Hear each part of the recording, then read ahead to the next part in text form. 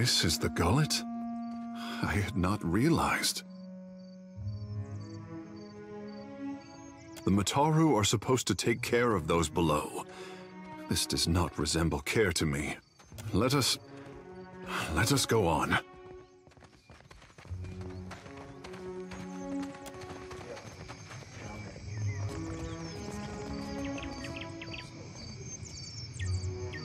Please, I did nothing! Enough! Or do you wish to consign her to the old city as well? Let him go! Beer, I'm sorry. Uh... Your tongue flops like a dying fish. I tire of its stink. Lower him down!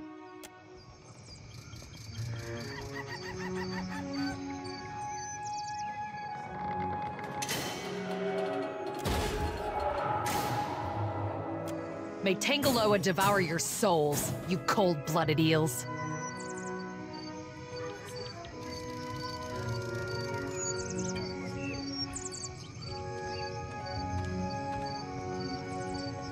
What crime could he have committed to deserve such a fate?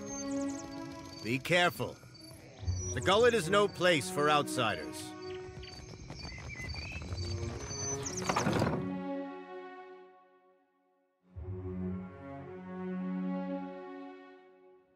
Was taking Botaru not enough for you? Botaru is gone. Dead. What more do you want?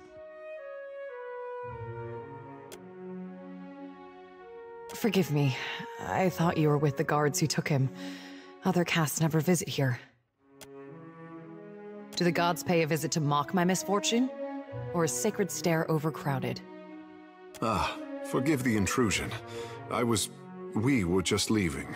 That is, giving you space to grieve. So many crowd into the gullet and you worry about space. My village was not like this. Why does Queen Onekaza not send the foreigners away? Botaru is punished already, I say. Whatever offense he gave, do not hang it on our necks. we say the only thing that live in these depths are ghost eels. And fish eaten by ghost eels. Which are you?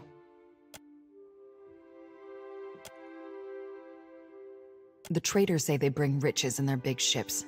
But what reaches the gullet? Only crime and sickness, I say.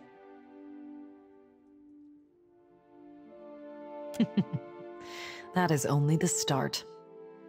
The Rauataians promise marvels, strong walls, and plenty for all. Ekera, still my back aches from building their fort, and still I live here. And Botaru said we would finally leave. It is only another word. Outsiders cover our islands with walls and gates. Many Huana come to Neketaka, but even here, the outsiders crowd us. In the villages, the chieftains know even the Roparu. Here, even neighbors are strangers. That is Deadfire now. I only want to be free of this place. That is how the trouble started. I heard a Rauataian captain took up at the tavern. Seduzo, they call her. They say she is a traitor, so I thought maybe she will take passengers. Botaru went and found her in the tavern. Next I see him, the guards are dragging him to the cage. Do not blunt your teeth on careless words. They say many Rauataian captains are women. Maybe her ears will open better to you. Botaru took some coin. Everything he scraped together working on the docks. And he went to bargain with the captain. I would offer it to you, but it is probably in the old city with Botaru. Or in someone else's pocket. Many ships leave from Queen's Berth, but the Vailians take slaves. They say the Principe smuggle goods in the caverns below, but I cannot trust such people. But the Rauataians have mighty cannons, and a big homeland they abandoned for ours. Perhaps there is more room for us there. I tell you, I do not know where it is, and I am sure it would be little to someone like you. After what happened, Botaru would sooner have thrown it into the waters than given it to the Mataru or the Rauataians. If it is anywhere, it is surely with his body.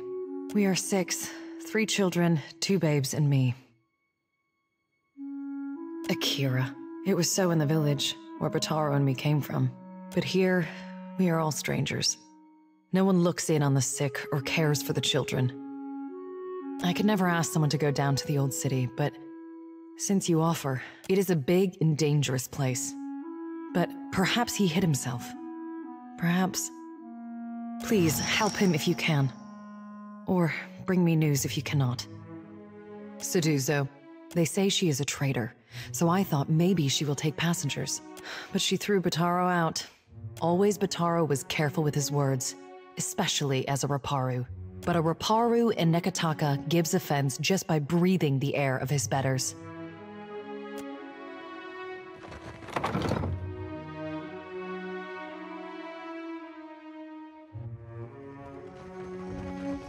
Some of these fights we've been in, you bailed me out more than once. You'd do the same for any of us. Don't tell, but I try harder for the ones I like better. It is rare to see one so honored in the gullet. To the old city, Ekera. A god's cursed ruin filled with walking corpses and abominations of the deep. How can you consign your fellow woman or man to this fate? We punish only those who cause trouble. Begging your pardon for my tones, sir. How may I assist you? Botaru? He associated with foreign criminals. I cannot be certain about Biha, so I let her go. But I will be watching her. And this is punishable by death, or worse? That it is. These wicked sorts overrun the gullet and corrupt the Roparu. Our justice must be swift and firm. Hers is the first house you come to. Just there. You will probably find her there. It is a dangerous place. But if you wish to go, it is no business of mine to stop you. The guard will let you pass. Though I urge you to reconsider. I will keep the lift down there for you. For when you change your mind.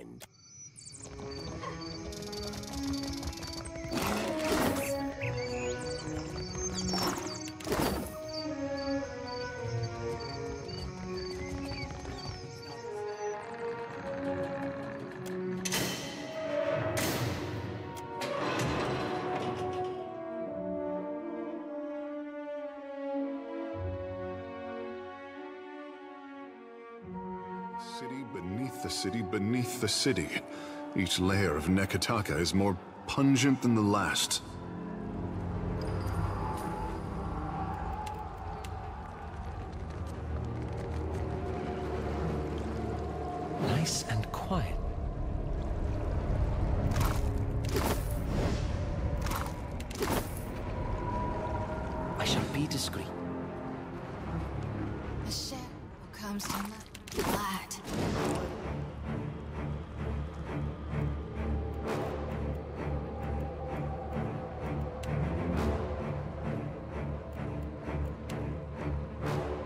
I'm with you.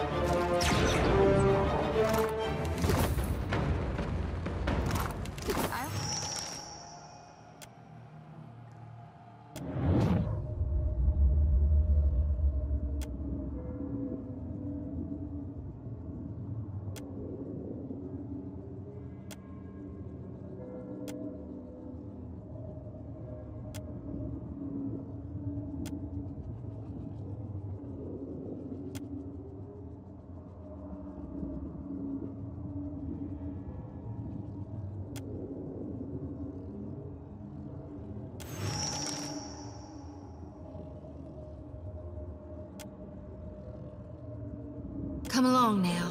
I'll guide you through the wheel. Hey there. I see where you're going.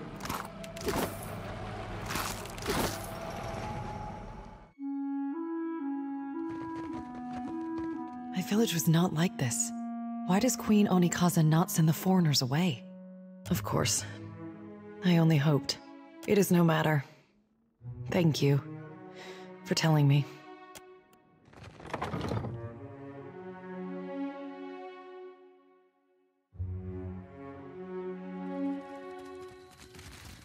You and the captain traveled together all that time, but never... No, that's, uh, not how things played out. Just never saw it that way. Ngati weeps for such wasted potential. You see that?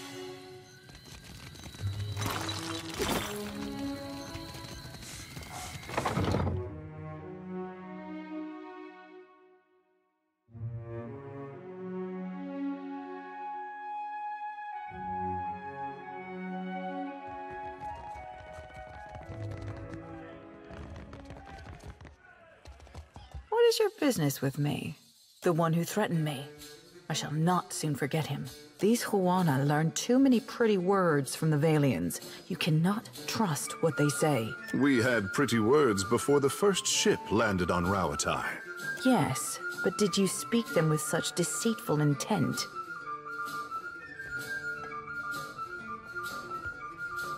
This fellow wanted passage on my ship. As if I were the village ferryman. I told him there was none to be had. Certainly not at his price. He told me he had coin. Lots of it. I did not believe him. How could a man who lives in a garbage heap have enough money for passage? So you assumed the worst and threw him to the wolves? No, you presumptuous Aedyran. I assumed nothing until I saw the swollenette. A marked coin, a token of allegiance. The Principe carry them. I knew then that I was dealing with a pirate. I had heard they were influential in the gullet, but I did not realize how much so. I called for the guards, and they dragged him away. That is the last I saw of him. There's nothing I can do. The passenger quarters have been reserved by a dwarf named Orron. Why do you bring this to me? What did remorse ever accomplish? Besides, this Botaru brought trouble on himself. Yes, he should have known how to behave around civilized people.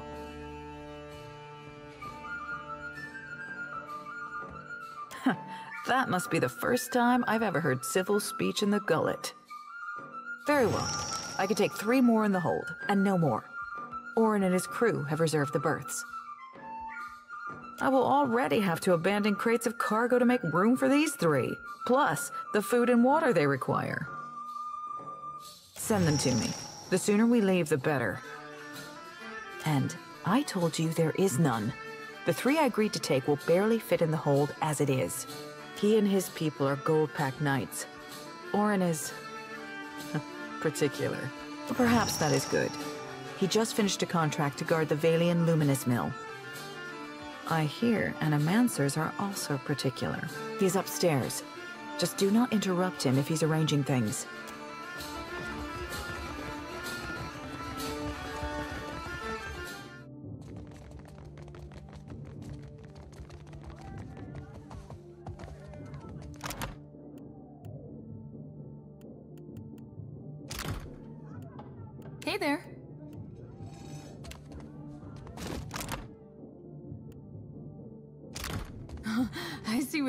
With this. What do you require? Indeed. The good captain has four adequate berths, all equally sized, all facing the same direction, and she's promised to leave promptly. A most agreeable arrangement. Out of the question. We're due in Takoa for another contract, and the client has already paid the advance. And we have already paid Seduzo. I couldn't possibly take back the same coins I have already spent.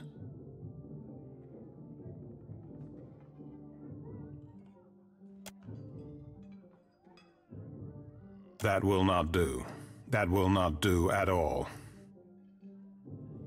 To Queen's berth, quickly.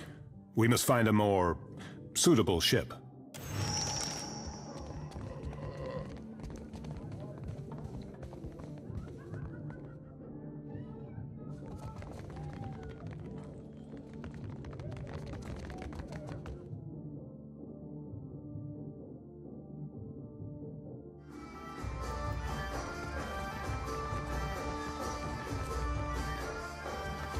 Is your business with me? That is convenient for you.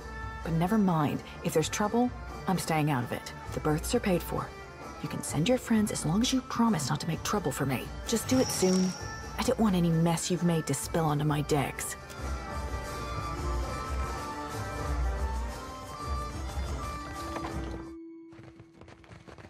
My village was not like this. Why does Queen Onekaza not send the that much copper would only bring suspicion? Besides, maybe Seduzo will accept it in exchange for passage. What say, then? Her watcher sure is something else, ain't she? Darnation, you're gonna make me cry myself. May Amira's winds ever blow sweet for you. We will pray always for you in this life and in each to come.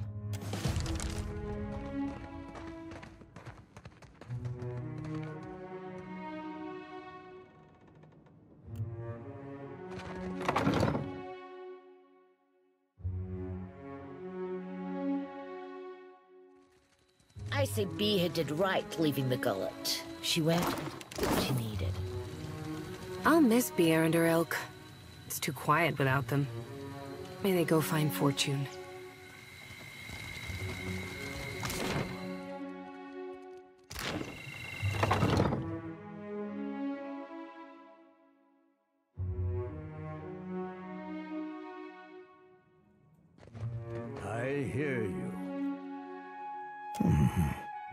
What say you, girl? I see much and many things. I simply do not look with these eyes in the same manner that others do. I have heard much as well. People speak of your kindness, Watcher who chases Eothas. I also hear the Roparu's heartbeat, grown thready and pained. Now a Watcher comes to the gullet, as Amira has shown me you would. At least piety can thrive in this dark and unforgiving burrow. That sea-swept voice.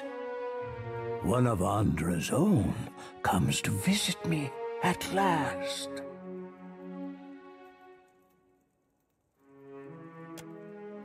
The Roparu are being crushed from the top. We starve so slowly. It is an agony. Starving? Are the gods so occupied that they cannot see inside the mountain? No one deserves to suffer. Not like this. This is the Huana way. The fish of our nets are drawn for the tribe. The fruit of our fields, too, is reaped for the tribe. And the coin of our pockets belongs not to one, but to all. All spoils are gifted to the whole of the tribe. The tribe then partakes from the top down, from the most deserving to the least. It is the way of life. The dawn stars would feed us, but the guards forbid them to pervert the order of sharing. There was a man who helped us. A soft-hearted pirate named Ulug. He worked with the Principe captain. Mad Morena, they call her. To bring us food from the black market. But for days now, we've had nothing. Ulug was never late with his shipments. Always very conscientious. A good boy. For him to disappear for several days without word.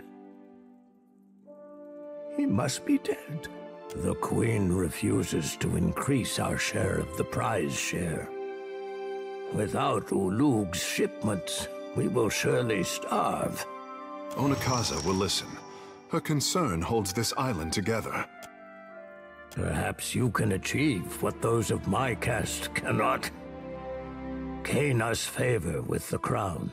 If we cannot convince the Mataru nor the Principe, I believe the Dawn Stars may help us. Peatly is a child of the Dawn Stars, and has become the Gullet's most cherished healer. Speak, and I will listen.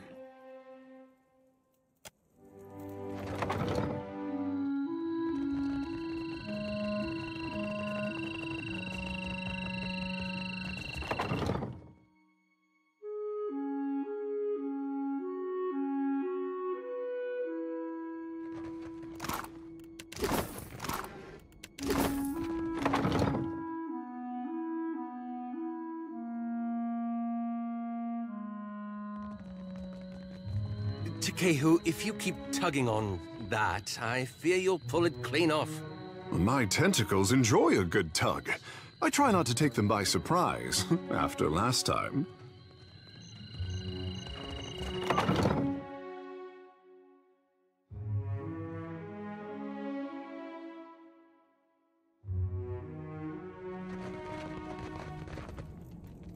Need something? We tried. But the one away is prize share. Meaning anything we'd give these people has to go through the palace. Ekera, it is for the Ranga and the Mataru to feed the tribe. Best I can tell, our food went to the queen's table. Assuming it didn't rot in the storehouse first. You got their best interests at heart, I know. That's a question for Sawin. I'd ask her myself, but I should stick close. In case any more sick Roparus show up. She's high priestess at the Temple of Gaun.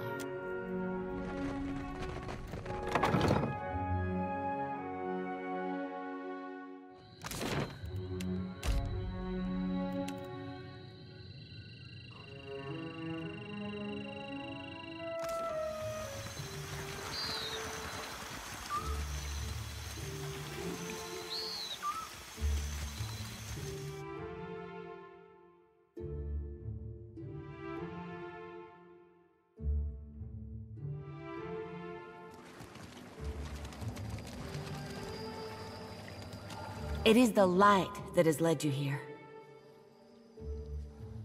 You did good, helping Peatly with the infected. Anyone half so capable's got my ear. We tried. Shipped some shares for charity. God, it's nearly two years back. Had the means to do some real good. But the guards wouldn't have it. Sent it all to the palace to be shared out, proper-like. Never did see it again. Course, we'd be glad to lend a hand. But how'll you see our shares reach the Roparu this time? What makes you think it'll work now when it didn't then? Alright. You wind up in the good graces of the Kahanga Royals, you get them to see the light, and I'll get you our food.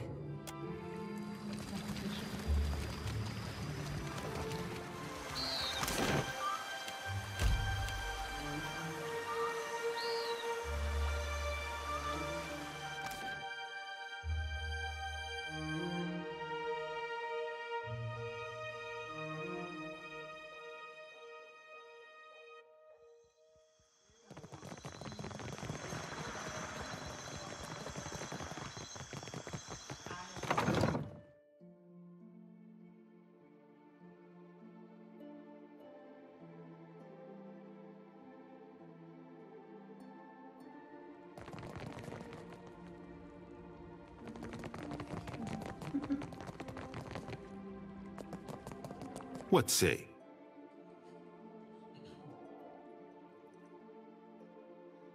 Shortage?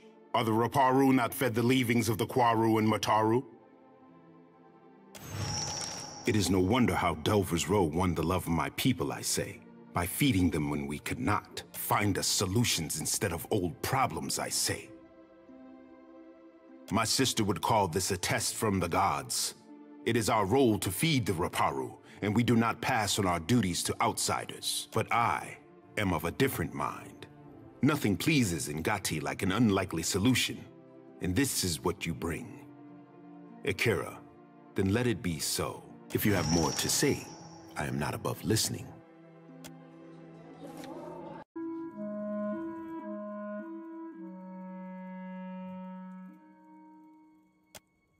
I heard of missionaries distributing food throughout the gullet.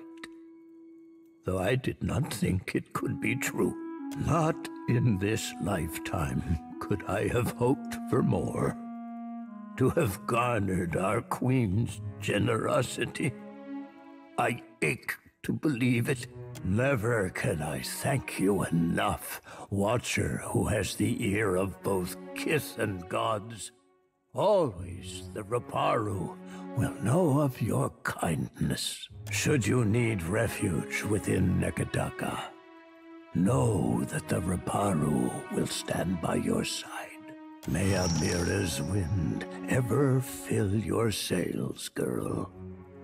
We will not forget what you have done for us.